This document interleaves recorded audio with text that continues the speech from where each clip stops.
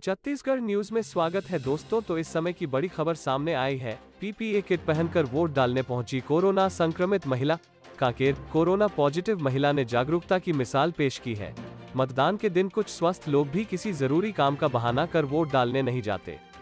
ऐसे में कोरोना जैसी महामारी की चपेट में आ चुकी महिला ने मतदान कर लोकतंत्र के लिए एक मिसाल कायम की है।